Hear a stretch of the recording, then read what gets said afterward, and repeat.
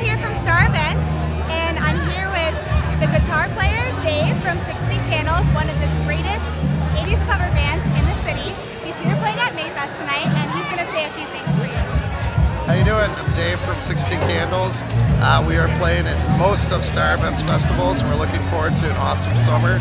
Come out and see us and all the other great bands and support local music.